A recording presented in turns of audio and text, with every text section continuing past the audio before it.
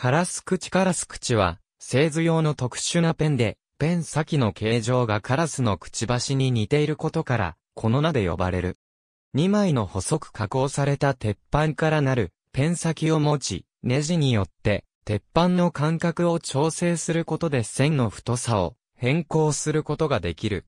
ペン先をインク、もしくは塗料等につけ、間に保持しながら線を引く。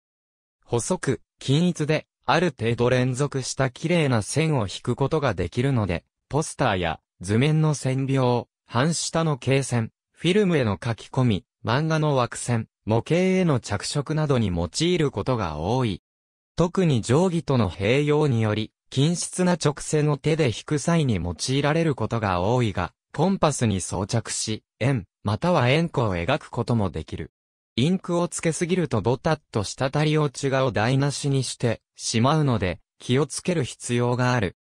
描画する線の太さを調整するネジを中心に、鉄板を左右にずらしてクリーニングできる。読式と文字通りカラスのくちばしのように根本から開閉できる A 式がある。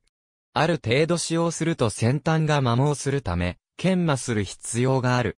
また、インクをつけたままにしておくと錆びるのでインクを拭き取って、きれいにしておく。現在では、より扱いが簡単な製図ペンの登場や、電子化によりあまり利用されなくなってきている。なお、中国語圏では、カラスではなく、アヒルのくちばしに例えて、カモくちばし質と称される。ありがとうございます。